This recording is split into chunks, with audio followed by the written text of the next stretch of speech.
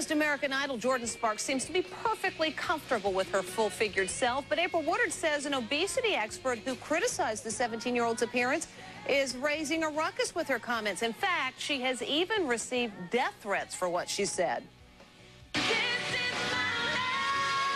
Everyone is singing the praises of new American Idol Jordin Sparks. That's why this woman's criticism of the 17-year-old is igniting a firestorm. When someone is overweight, whether she be an American Idol or not, we know that her health has been compromised. Obesity expert MeMe Roth is taking a lot of heat and even death threats from fans of the newly crowned idol for saying the singer should lose weight.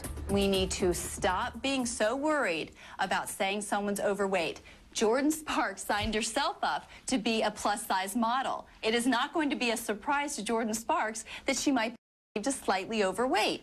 Nasty messages are being posted online after Roth went public saying Sparks is overweight and unhealthy. We can see that she's got extra weight on her body. Let's see if we can get her a little healthier. Wouldn't that be the great message? Sparks, who worked as a plus-size model before Idol, is often applauded for her positive body image. Yeah, I would love to tone up a little bit, I guess, but I I would just love to stay me, and I think I will. And while Roth now says some of her comments were misconstrued, the controversy doesn't seem to be bothering Jordin a bit. I'm good with just being me. Jordin tells us she wears a size 12 dress, which means she's actually smaller than the average American woman. The average dress size in this country is 14.